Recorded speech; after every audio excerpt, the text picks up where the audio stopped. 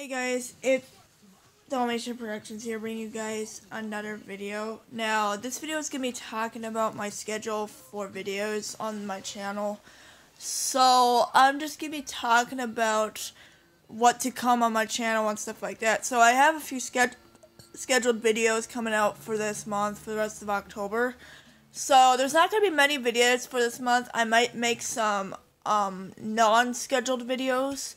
Um, so October 17th, which is tomorrow, I believe, if I'm not mistaken. Um, what is it? The October 16th. Yeah, it's October 16th today as I'm making this video. Um, and tomorrow I'm going to be planning planning ahead of my Halloween special coming out on the 31st of October. And and then on October 19th, that's a few days after the other video, the video I will be making on the 17th. Uh, a lot of people have been asking me to do an update on my Kmart store um, three months later after closing down. Um, so I will be doing a video on the Kmart three months later after closing down on July 19th of this year video of July 19th of 2020, I should say, excuse me. And and and then if a new store closing list comes out for Sears or Kmart, I will be making a video on that. So far, I haven't seen a list yet. I'm pretty sure Transformco is going to be announcing more closures by the end of this month, or maybe next month, or maybe December. I don't know, because of with this whole pandemic thing, it's really making it really harder for Kmart and Sears altogether.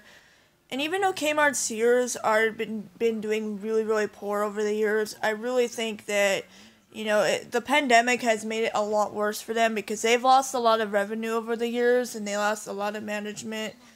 Um, so yeah, so that's gonna be that video, and then and then the thirty first of October. I will be doing the Halloween special, and that's pretty much it. Gonna be it for October. Um, so, and now for November. Um, November, I don't have that many videos planned at this point. Uh, the only videos I have planned out right now for November are my Thanksgiving special and uh, the Veterans Day special video. So, um, th those are the only things I have planned for right now for the November. And then December is gonna be for. Uh, I'm just gonna be talking about the videos to come for the rest of the year here, so I do apologize if I'm going over too much, but um, so December is uh, right now. I only have a few videos planned. I might make more.